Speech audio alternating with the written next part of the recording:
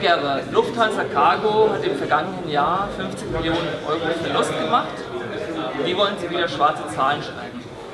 Ja, also in der Tat hat Lufthansa einen entsprechenden Verlust gemacht. Es war ein sehr schwieriges Jahr für die Luftfracht, speziell die erste Jahreshälfte. Alle Carrier haben gelitten, die meisten sehr viel stärker als Lufthansa Cargo, aber natürlich ist es kein zufriedenstellendes Ergebnis.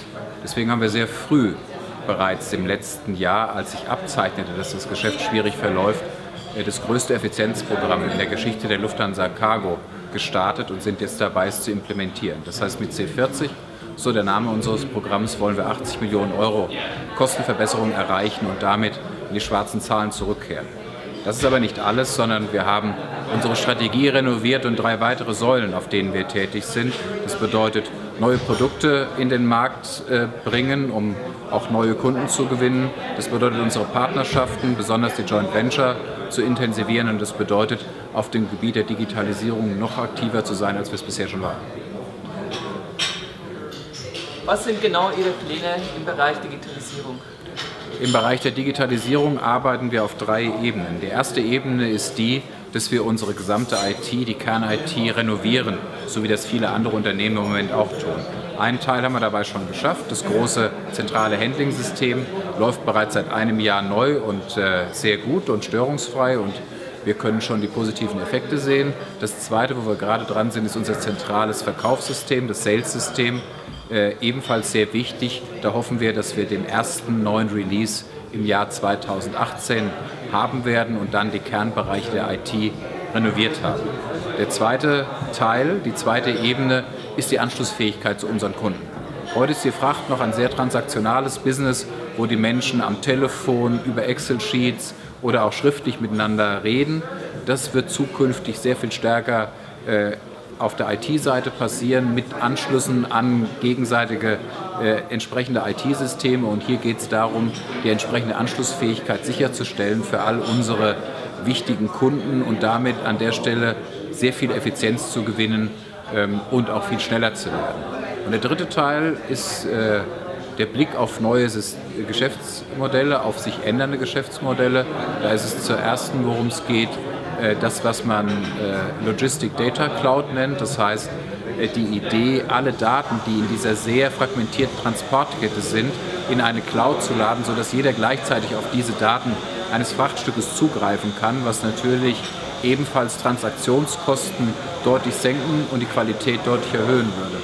Und natürlich schauen wir auch, auf sich ändernde Geschäftsmodelle, Stichwort digitaler Forwarder. Hier schauen wir natürlich, ändert sich unsere Kundenstruktur, gibt es hier Opportunitäten auch für uns und wenn es welche gibt, werden wir sicher versuchen dabei zu sein. Im Bereich Seefracht haben die Räder schon seit längerer Zeit mit großen Überkapazitäten zu kämpfen. Sehen Sie da Parallelen zur Luftfracht? Und wenn ja, welche und wo wird die Entwicklung im Bereich Luftfracht hingehen? Ja, ich sehe da in der Tat Parallelen. Auch in der Luftfracht gab es in den letzten Jahren sich entwickelnde Überkapazitäten. Sie waren sicher nie so groß, wie sie in der Seefracht waren, aber es gab sie und es gibt sie. Äh, das hat zwei Gründe. Das eine ist, dass das Wachstum der Luftfracht seit der Finanzkrise 2008 nicht mehr so groß war, wie es davor war. Jetzt wächst die Luftfracht etwa nur mit dem weltweiten Bruttosozialprodukt, vorher doppelt so stark. Und das Zweite ist die zahlreichen Bellies, die durch das stärkere Passagewachstum in der letzten Zeit in den Markt gekommen sind. Das heißt also, wir werden hier auch weiterhin, das wäre meine Erwartung, Überkapazitäten sehen, aber wir werden sie sicher nicht in allen Verkehrsgebieten sehen. Hier ist eine Durchschnittsbetrachtung nicht angezeigt. Das Thema Überkapazitäten spielt in Asien eine viel geringere Rolle, weil dort viel weniger Bellies unterwegs sind. Auf dem Nordatlantik, auf einem schwächer werdenden Luftfrachtmarkt spielt sicher eine größere Rolle. Die Lufthansa Group äh, kritisiert immer wieder Fluglinien äh, aus den Staaten des arabischen Golfes, weil sie große Subventionen bekommen. Äh, die Kritik der Lufthansa Group ist immer, dass das den Wettbewerb verzerren würde. Äh, sie haben heute hier diese Kritik auch nochmal wiederholt. Äh, nun ist es aber so, dass Lufthansa gerade dabei ist, mit Etihad Gespräche aufzunehmen, vielleicht eine Kooperation aufzubauen. Glauben Sie nicht, dass das jede Kritik untergräbt und weniger glaubwürdig erscheinen lässt?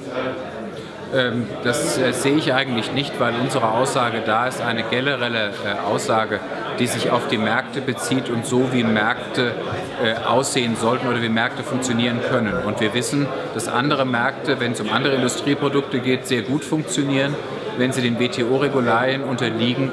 Und äh, das gilt eben für den Luftverkehr nicht. Und deswegen sehen wir da im Moment diese Entwicklungen, die sicher nicht für einen funktionierenden Markt sprechen.